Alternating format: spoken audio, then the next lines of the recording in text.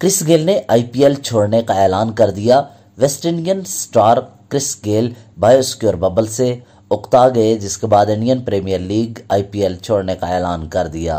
West Indian star Chris Gayle biosecure bubble से उकता गए, जिसके बाद उन्होंने इंडियन प्रीमियर लीग के रवान सीज़न को छोड़ने का ऐलान किया।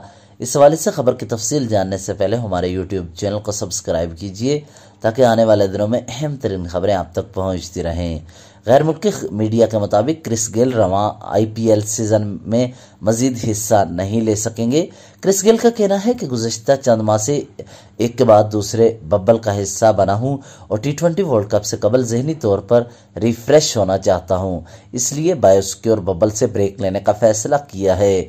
वाज रहे कि क्रिस गेल आईपीएल में पंजाब किंग्स की नुमाइंदगी कर रहे थे। इस हवाले से बायोस्क्योर बब्बल का, का सहारा लेकर उन्हें खिलाड़ियों को एक दूसरे से दूर रखा जाता है ताकि कोविड केसेस ना हो सकें कोरोना का शिकार ना हो सके।